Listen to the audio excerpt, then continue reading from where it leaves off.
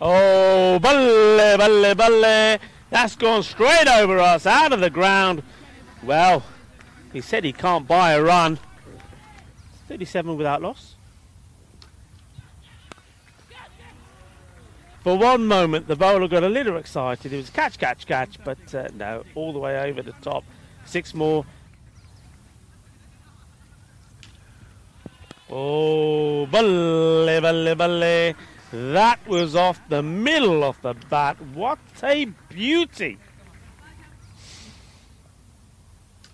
Wow, that's huge.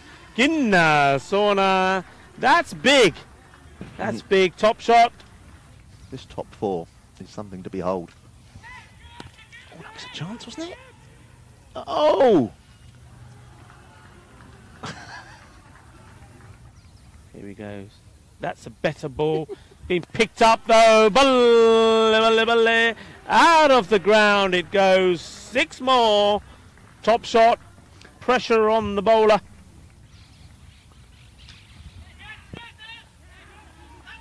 Goes under 48. Nice shot. No risk. Upish, but no one there. Straight as a die. It is. Shabash, shabash. 50 runs. Done it in style. Produced the form when it mattered. The captain. Brutal innings in the semi-final. And he's not finished yet. He's far from finished yet.